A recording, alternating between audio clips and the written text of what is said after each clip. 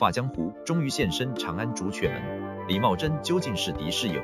在二十九集结束，通过三十集的预告吊了观众一星期的胃口之后，画江湖之不良人第三十集终于更新了。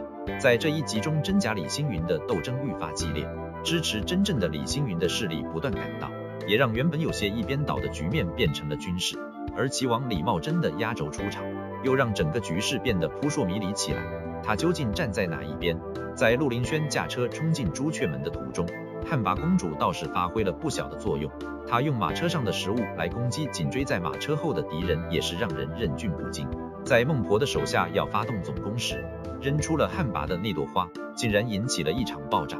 将敌人炸飞，并且将自己也炸成焦炭后，陆林轩和上饶公主终于是抵达了真假李星云的对峙地点。